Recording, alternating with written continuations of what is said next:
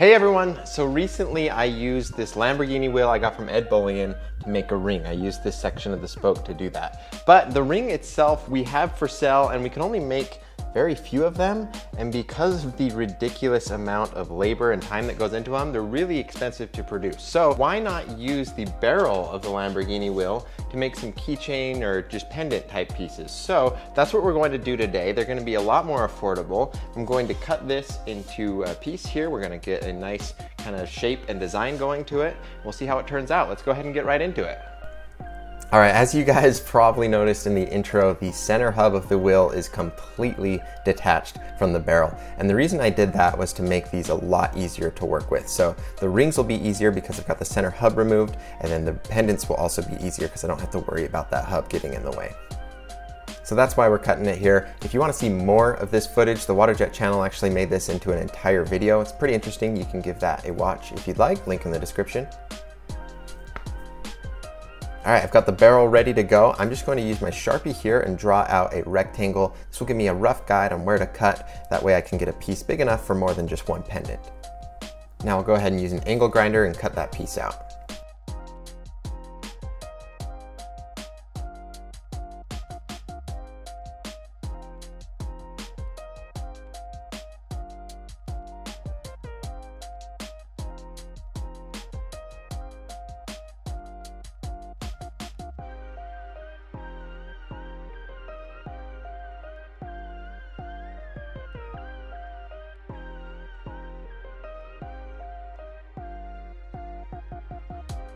All right, so far so good. I'm gonna use my Sharpie again to draw some lines on here. I'll measure them out precisely how I want them. That'll be a guide for me to cut out each individual pendant. And then I'll use my metal bandsaw to do the cutting.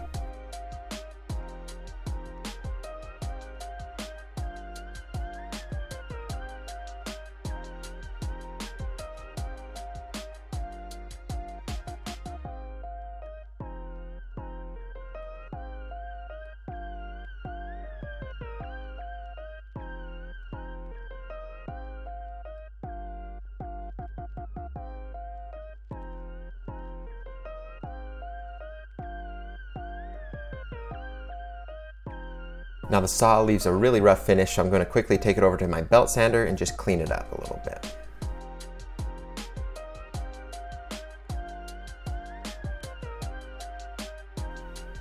All right, now on to the next step, which is going to be removing the powder coating. I was kind of tempted to leave it on there, but I did notice that it would chip really easily. So I just wanted to completely get rid of it. That way these pendants would be a lot more durable. So powder coating is actually quite difficult to remove. So I put it in this pretty strong uh, paint and epoxy remover and I left it overnight. And even that wasn't completely enough to remove all of the powder coating.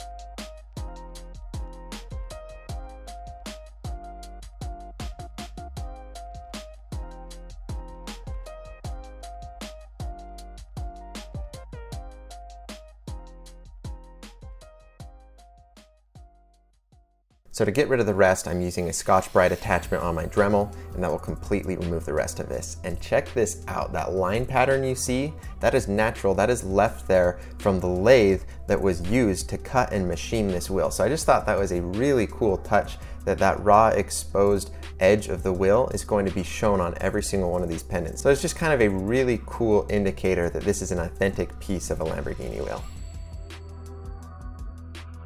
Now I'll go ahead and use all the various grits of sandpaper to polish these edges up, get them looking a lot nicer.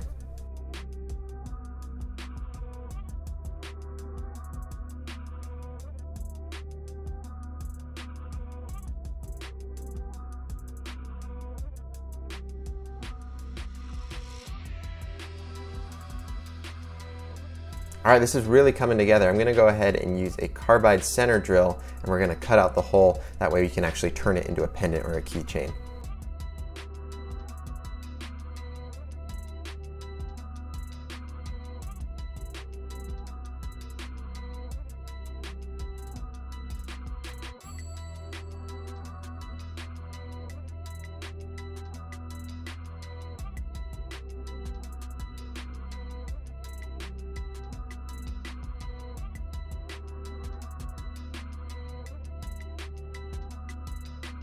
Now it's time to move on to the finishing steps for this. So I want to give it a really nice, even, consistent finish, but it's really challenging to do that without removing the texture that was left on there from the lathe. So my best option is to use a rock tumbler. So first I'm going to be using a really rough coarse grit of aluminum oxide.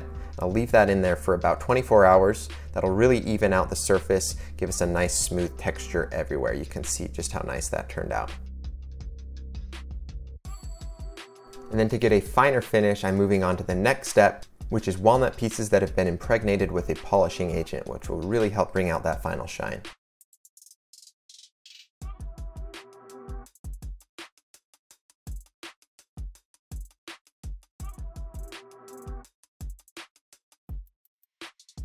All right, now here we are a day later and you can see just how smooth and consistent that finish looks. It looks amazing.